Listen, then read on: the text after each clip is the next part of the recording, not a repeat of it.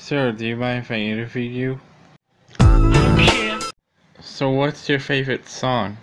Well, that's obvious, but can you uh name me uh, a song that is it by you that you like? Sir, I asked you to name a song that is it by you that you like. Now, can you please do that for me? Oh well, uh, I'll move on to the next question. Do you feel honored that your music is in a Sonic game? No, no, no, no, I see. So are you going on tour soon? no, no, no, no, no, no, no, no, no. I see. So what's your favorite thing in this world? The great emerald's power. I see. So what's your favorite thing to eat? Pumpkin. I see. So how good is your vision? I can't see a thing. I see.